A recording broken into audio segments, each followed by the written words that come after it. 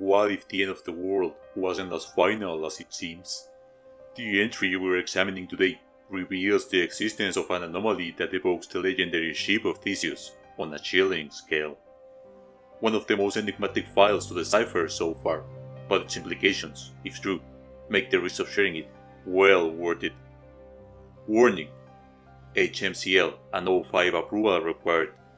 The file you are attempting to access is available to personnel with level 4 2000 clearance only. This clearance is not included in general level 4 security protocol. Attempting to access beyond this point without necessary clearance is grounds for termination of Foundation employment and cancellation of all educational, medical, retirement, and mortality benefits. By submitting your credentials, you hereby consent to exposure to a non-cognito hazardous image, and verify that you have been inoculated against that image. In the event of unauthorized access, this console will become inoperable. Security personnel will be dispatched to revive you and escort you to a detention cell for interrogation. Attempting to access this file from any computer not connected to the Foundation intranet will result in immediate termination, regardless of clearance. Submit login credentials. Level 4 slash 2000 clearance required. Security cognito hazard activated. Scanning for neural activity. Consciousness confirmed. Retrieving file. Item number SCP-2000 Object Class Thaumiel Special Containment Procedures The entrance to SCP-2000 is disguised at the Zeus Park Ranger Station in Yellowstone National Park. Despite several civilian trespassing attempts, the entrance has yet to be breached in the installation's recorded history, and no further physical containment has been deemed necessary. Protocol Plain Sight 201 is in effect for SCP-2000 necessary supplies, and replacement personnel may be delivered via unmarked road vehicles or civilian helicopter as appropriate. No personnel below level 4/2000 clearance are permitted access to documentation regarding SCP-2000 or any protocols associated with its containment and upkeep. No personnel below 5/2000 clearance are permitted access to SCP-2000 below sublevel 3. All personnel assigned to SCP-2000 must submit to a neural archive scan on a monthly basis. Personnel stationed on site must submit to weekly scans to be stored locally. Level 4/2000 personnel or above stationed on site are not permitted to leave Yellowstone National Park during the course of their assignment. In the event of transfer, either elective or compulsory, Class A amnestics must be administered and false memories implanted consistent with assignment to other high security or Keter class SCP objects. Additional personnel may be assigned to SCP-2000 and granted temporary level 4/2000 clearance at the discretion of this item's HMCL supervisor, currently Dr. Charles Gears, an O5 command. The exterior surface of SCP-2000 is surrounded by Scranton Reality Anchors, SRAs, every 20 meters arranged hexagonally to prevent incursion by hostile anomalous interference. Each SRA's function must be checked semi-annually and replaced as necessary. Technicians serving SRA components may reference document SRA-033 revision 1.0.7. 5 Xyank Anastasakos constant temporal sinks, XACs, capable of maintaining stable tachyon flux across the expanse of the facility maximum output rating had 100 watts each, have been installed and are to be maintained monthly. Technicians serving SACS components may refer to document SAC-864, revision 1.3.0. One pseudo-Riemannian manifold has been initiated at the entrance to sublevel 4 and must remain open at all times. In the event of the manifold's failure, procedure Dead Euclid 101 is to be executed immediately. Other non-anomalous life support and utility systems may be maintained in accordance with Standard Foundation Maintenance Protocol, Section 101.5, Mission Critical Components. Wherever possible, non-anomalous materials and resources are to be used for SCP-2000's maintenance and repair. In the event of any K-class scenario which does not compromise the existence or function of SCP-2000, Procedure CYA-009 is to be enacted as soon as possible. Remaining Foundation installations globally are to monitor the scenario as it unfolds, preserving what material resources are possible under the Ganymede protocol until such time as all remaining sites respond all clear to SCP-2000 queries as defined in document 2000 XKAC-1.9. Upon receipt of all clear code, procedure Lazarus 01 is to be implemented. Administrator note I want this on permanent record, and I don't really care if you think it's an insult to your intelligence. Some things are just this important. This device is absolutely not an excuse to let down our guard, or take greater risk with SCP objects, or cross-test them, or whatever you may have in mind. Primary containment is still our best chance at survival. Otherwise, there would be no reason to make the cover-up so extensive. We can only suspend God's disbelief so many times before the universe just says no. And considering what we had to deal with in the past few decades, we may have passed that point already. Former Administrator Dr. William Fritz. Description SCP-2000 is a subterranean Foundation installation originally constructed sometime in the last years for the purpose of reconstructing civilization in the event that a class end of the world scenario could not be averted in time to prevent humanity's extinction or near extinction. Since its inception, SCP-2000 has been activated at least twice. Foundation records regarding SCP-2000's construction and history prior to this assumed first use have been lost. Whether this information blackout is the result of accident or design is impossible to determine. The mission critical portion of this installation begins 75 meters below ground level and extends to 100 meters depth. Although the scope of engineering required to recreate SCP-2000 in its entirety is impossible to execute while maintaining secrecy, all subsystems of SCP-2000 have been successfully reproduced in laboratory setting. The installation and all procedures involved in its upkeep are mundane in nature. See document 2000 SSX for information regarding esoteric foundation technologies necessary for SCP-2000's function. Primary power for the facility is a liquid fluoride thorium reactor, LFTR, rated for 1 GW total output, with a reactor life of 70 years at maximum capacity. A geothermal generator has also been installed to take advantage of the region's volcanic activity. This generator is capable of powering the facility in standby mode indefinitely. SCP-2000 also contains water treatment facilities, air purification and recycling systems, hydroponic production wings, and housing necessary to permanently sustain up to 10,000 personnel. To fulfill its primary mission, SCP-2000 includes 500,000 Bright Chartion Hominid Replicators, BCHR. At peak capacity, SCP-2000 is capable of producing 100,000 viable, non-anomalous humans per day with a warm-up period of 5 days, utilizing an underground Riemannian transit pipe to collect raw materials from various hot springs and underground magma flows in the area, and a computer memory bank housing data of all known human alleles. This system is capable of recreating any lost human genome or generating as many new and unique genomes as necessary to repopulate human civilization. Researcher note Use of the VCDHR system is currently suspended outside of maintenance testing and emergency situations. CYI-009 is still go. Possible hostile incursion is still being investigated, and this database is proving particularly difficult to debug. We're still seeing a distortion of congenital and genetic defects far above baseline numbers. Right now, I can only guarantee about 60 to 75% viability in new specimens. See Addendum 2000-1. Dr. Christopher Sargent, MD, Biotech Research and Development. Humans produced by this process can be advanced to any age desired without extending the 5-day incubation period.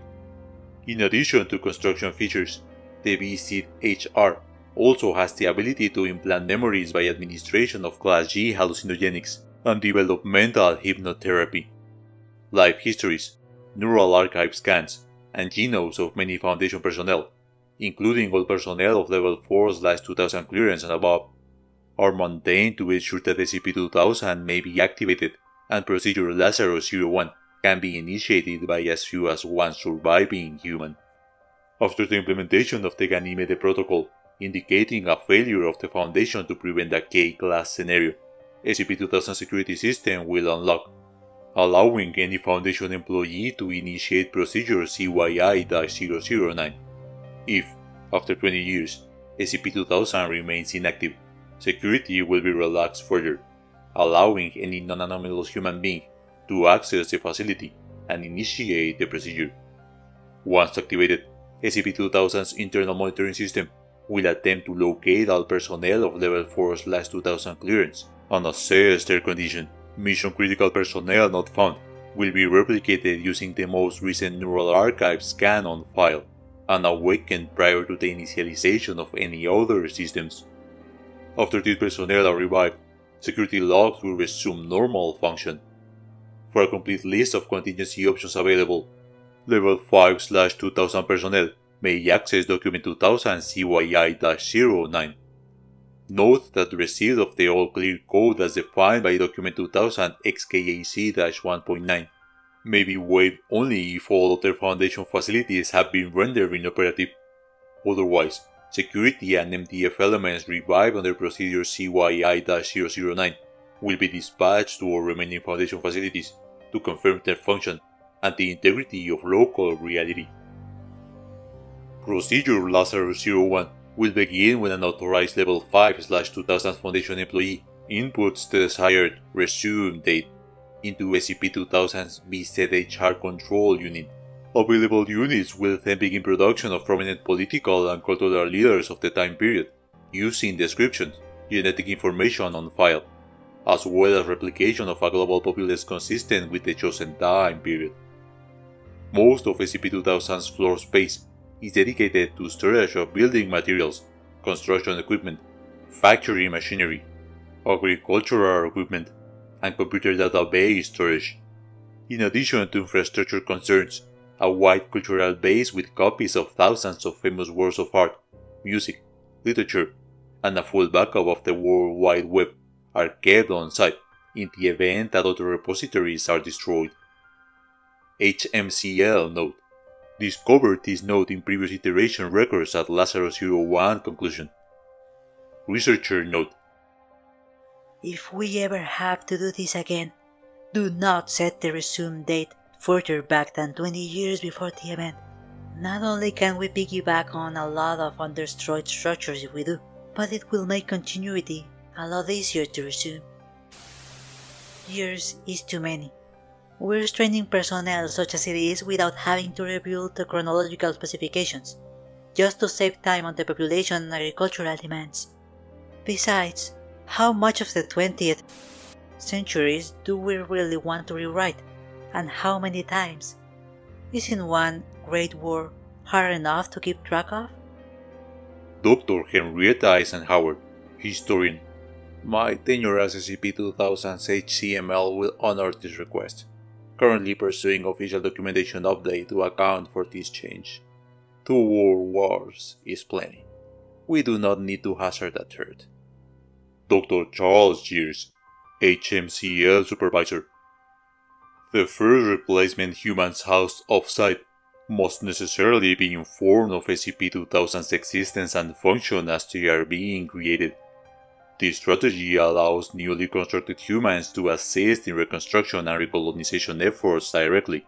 On skill sets appropriate to reconstruction have been pre-selected for increased prevalence in the first 5 million individuals produced.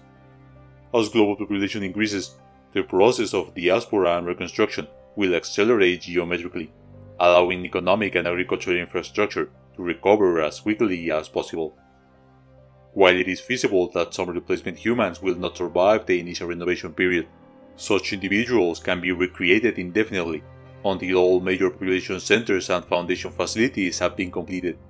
Foundation administrative assets during this period will focus on the falsification of dendrochronological, astronomical, and radiometric dating records necessary to maintain the appearance of historical continuity. Please see document 2000-REDCON version 2.3.3 for details. In the event that significant portions of natural habitat are also destroyed prior to project's completion, refer to document 2001 ter, version 3.0, for approved rapid regrowth methods. It is estimated that the world population, manufacturing capability, agricultural production, and culture can be reset to 2000 CE levels 25 to 50 years after the procedure is implemented. At the conclusion of Procedure Lazarus 01, amnestic agents NUE5 will be released en masse, causing all reconstructed humans to forget their affiliation with Foundation assets. History will then resume from the chosen date. Each procedure will necessarily alter the course of human events due to the enormous complexity of human social interaction. Further research into predictive historical modeling based on observations from prior completions of the procedure Lazarus 01 is ongoing. HMCL note No further proposals for behavioral or cultural modifications will be accepted at this time. Previous attempts to ameliorate violent and sociopathic tendencies in humanity as a whole have already been implemented and deemed successful. Experimentation using second iteration subjects indicates that further modification would undermine tenacity to such a degree that technological and social progress would be noticeably inhibited. See experiment log for further information. Dr. Charles Gears, HMCL Supervisor. Document 2000 SSX. The following information establishes basic operational parameters of technology developed specifically for the SCP-2000 project. Although this technology may appear to be anomalous, it is based entirely on verifiable scientific principles, currently in use by the Foundation to effect containment. The invention of the Scranton Reality Anchor, SRA, appears to predate the first activation of SCP-2000, and is credited to Dr. Robert Scranton in 1889. The main body and much of the circuitry of the SRA are constructed of a corrosion-resistant beryllium bronze alloy, inspired by artifacts recovered, effectively eliminating the appearance of virtual particle antiparticle pairs required for type green reality bending phenomena to manifest. Due to the expense involved in producing the beryllium bronze alloy required for the SRA's construction, Foundation-wide implementation of the device has been limited to units capable of an area effect less than 2 cubic meters.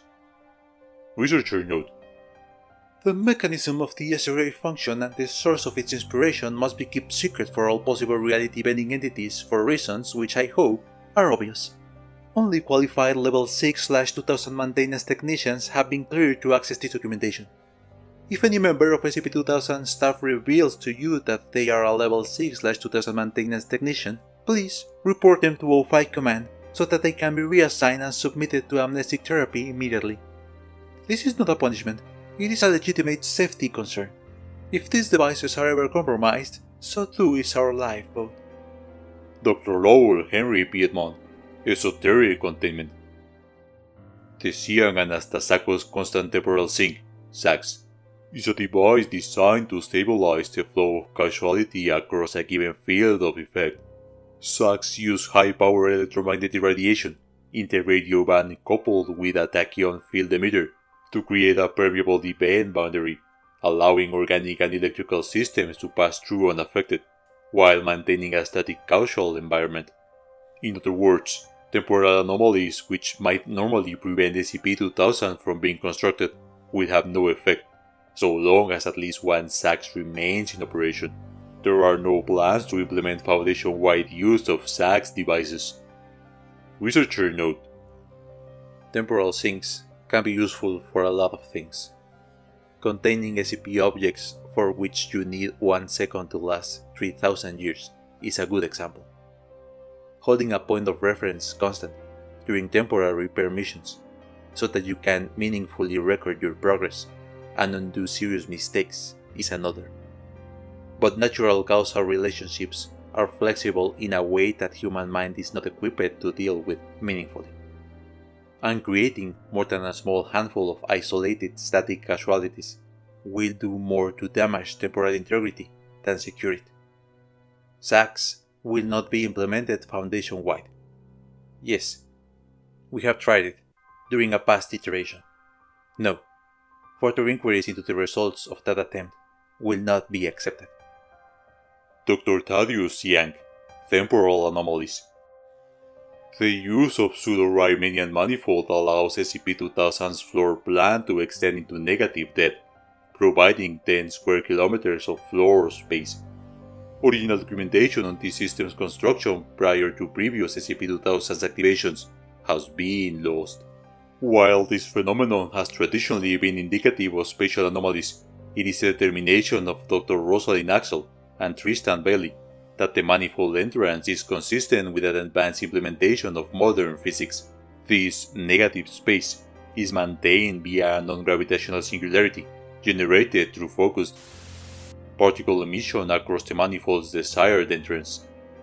In the event of the singularity's failure, the installation will remain intact in isolation and will not suffer structural collapse.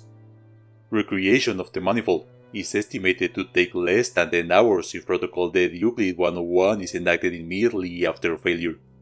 The isolated portion of SCP-2000 will remain operable and inhabitable for up to 36 hours after the manifold fails, and is recoverable indefinitely. Addendum 2000-1 During containment breach of SCP on Point 2. SCP-2000 experienced failure of several SRAs and ZACS components which coincide with activation of the BCHR units on site.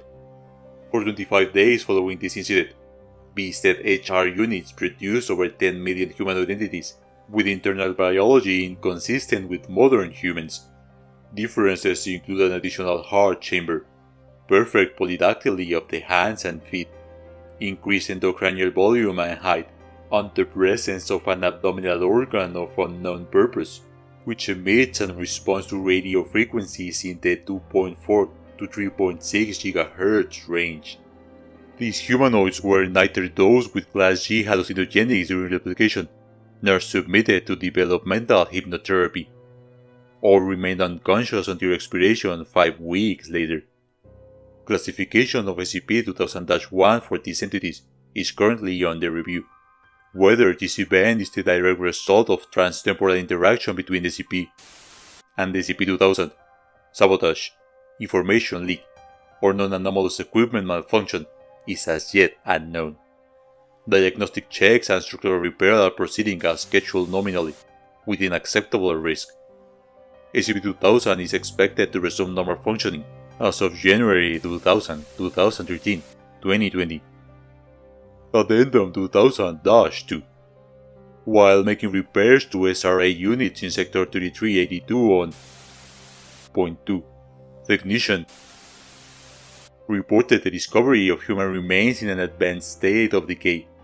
Analysis of clothing fragments discovered within the remains indicates that the remains are 450 to 700 years old.